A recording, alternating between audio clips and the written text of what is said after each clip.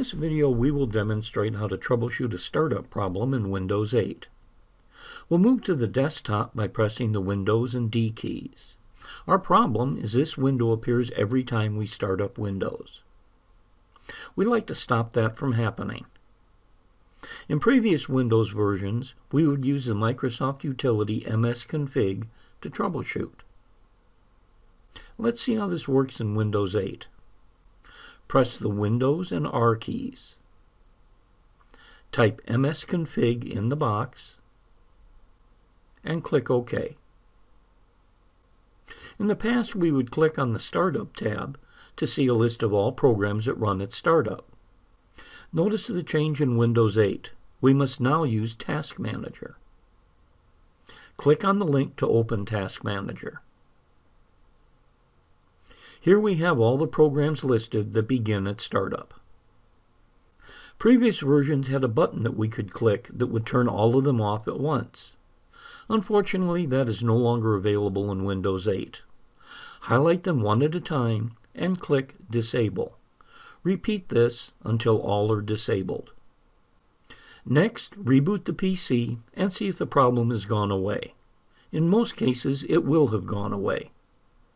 To troubleshoot, we can enable them a few at a time, reboot, and see if the problem comes back. We would continue this process until we determine which program is causing the problem.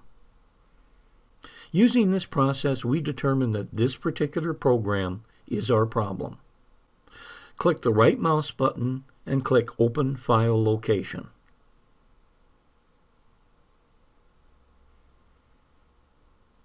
Here we notice that the file is located in the Startup folder.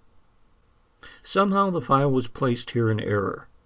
All we need to do is right-click, select Delete, and confirm. The problem is now solved. Close Task Manager and the other windows. This program will no longer run every time we start Windows. I hope that you found this tip helpful. This is just one of many videos about Windows 8 that we'll be producing. If you'd like to get a quick start, we have a free gift for you. Just click on the link below this video and you'll gain instant access to this quick reference card on handy Windows 8 shortcuts. Until next time, I'm Dick Buchanan with Byte Savvy Computing Services.